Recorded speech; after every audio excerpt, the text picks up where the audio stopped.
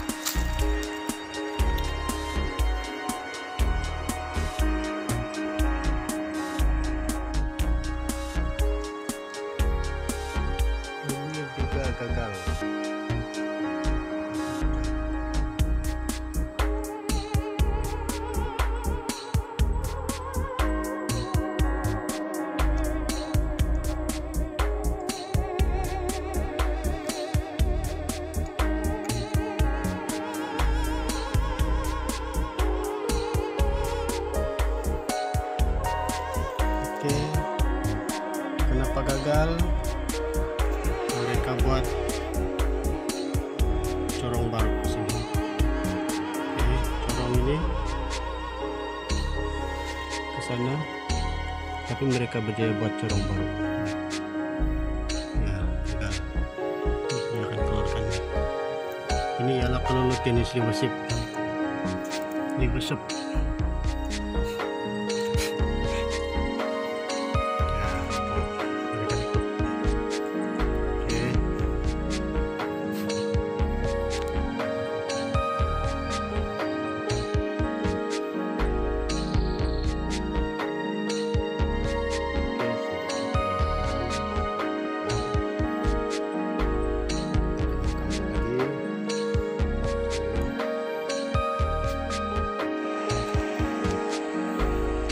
kkk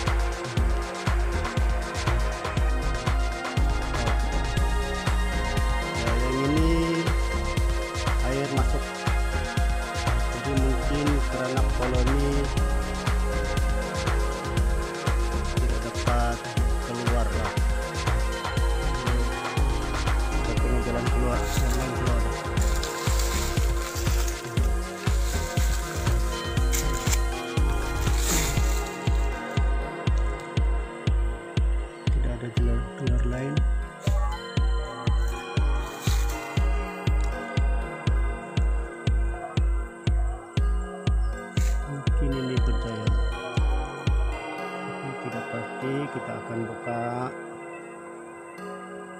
Akan buka nanti. Oke. Kita buka. Tunggu gelap sedikit baru dikeluarkan.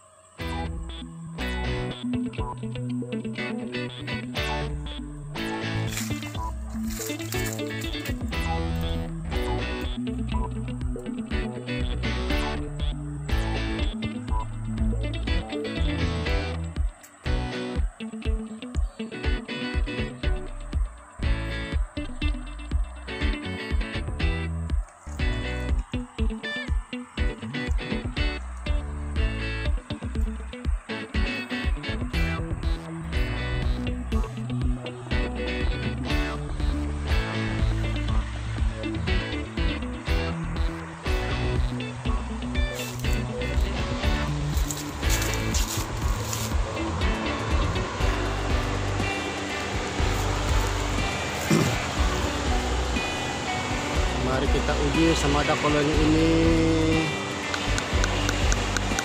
Banyak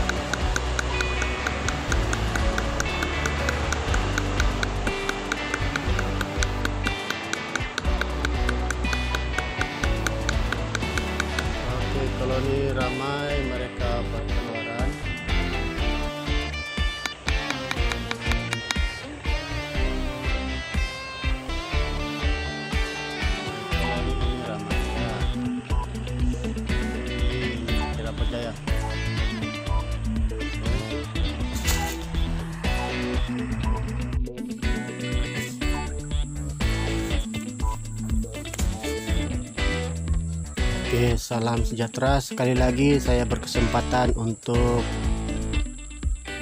berkongsi dengan teman-teman berkaitan dengan uh, apa yang kita nampak di sini ada tiga kotak yang saya ambil dari dari hutan yang telah saya pasang pada kelulup jenis libesep namun gagal untuk um, penelut itu berpindah ke sini. Jadi hari ini saya berkesempatan untuk membuka apa sebenarnya yang menyebabkan kelulut itu tidak mau berpindah ke sini dalam kotak ini. Dan saya perhatikan sudah sebulan kelulut tersebut itu sudah melalui uh, lubang-lubang ini corong ini. Namun mereka tidak kekal lah dan membuat uh, pintasan dan tidak melalui sini. Oke jadi ini adalah gagal yang saya ambil. Hari ini saya akan buka. Apakah di dalamnya adakah sesuatu yang mengganggu ataupun sudah adakah kesan-kesan uh, pembentukan koloni ataupun kesan-kesan peninggalan mereka. Jadi kita akan buka satu persatu kotak ini ya.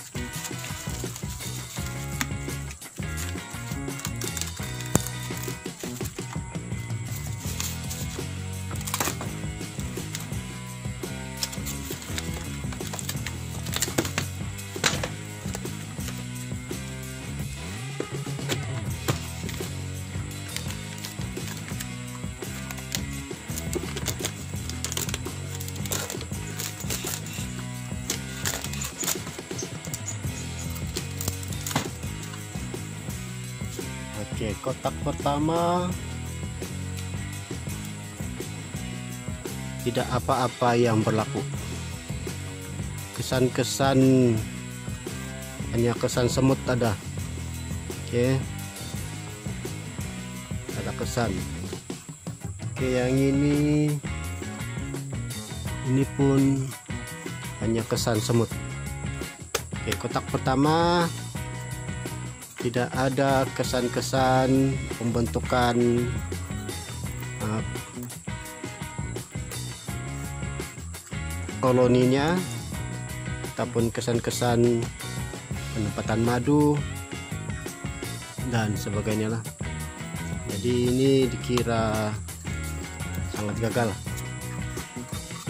Oke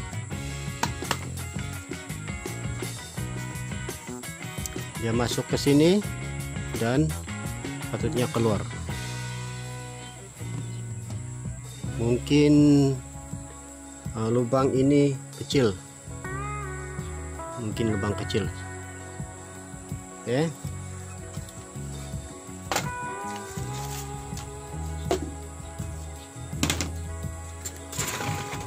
ini kotak yang kedua. Adakah ini juga memberikan keputusan yang sama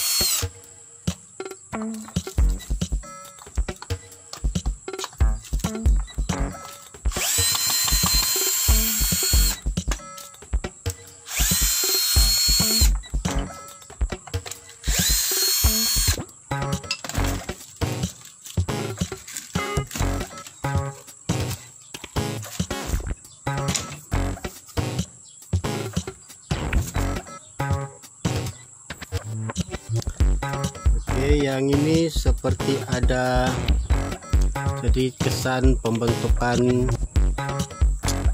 uh, propolis di sini. Mereka seal lah tutup. Jadi kita akan tengok sini di dalam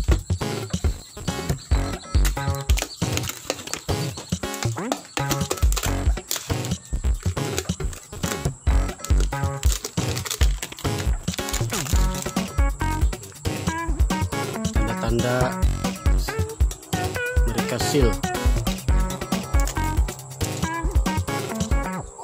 oke yang ini pula.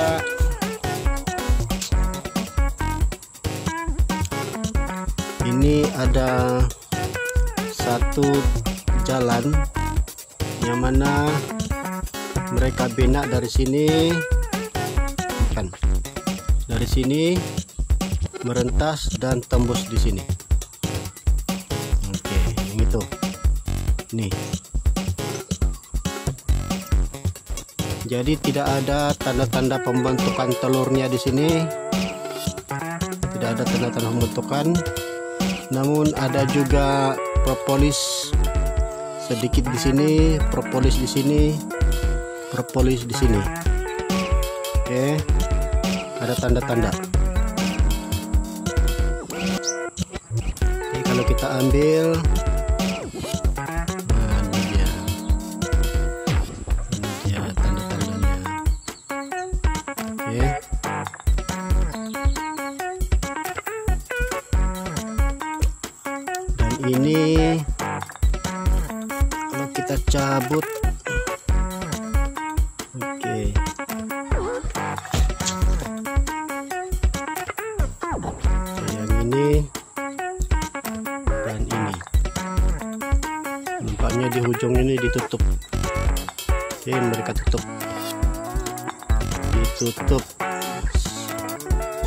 sebabnya mereka sudah membina laluan baru dan ujung ini mereka tutup. Oke.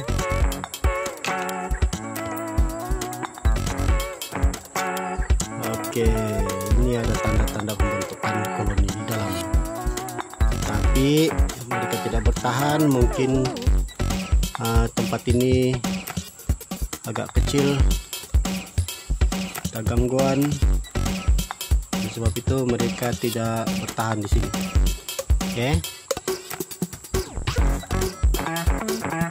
Oke.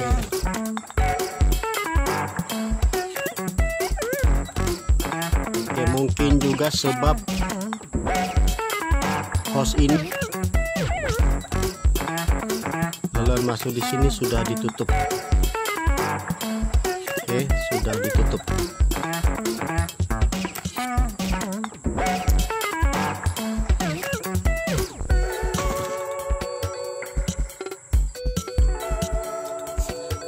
kita sampai ke kotak yang ketiga. Di kotak yang ketiga ini